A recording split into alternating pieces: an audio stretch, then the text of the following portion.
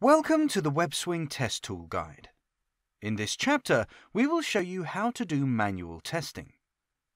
Click Create Test Case, Manual Testing. Enter URL of your WebSwing application. Click Open Test Case. Pick a test case you have previously created.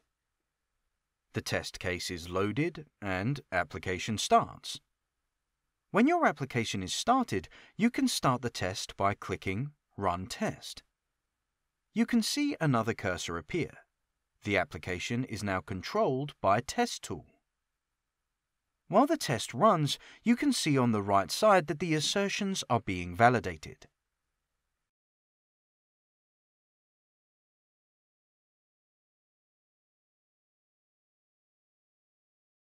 The test has finished. You can see that it has passed.